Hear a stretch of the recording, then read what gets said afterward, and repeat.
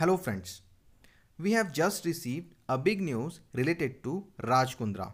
Yes friends, according to the latest sources, Raj Kundra was taken to hospital today. Yes friends, and it is said that he is facing some medical problems and hence he was taken to hospital. But some news are also coming that Raj Kundra will be presented in court tomorrow and hence he was taken for basic medical checkup.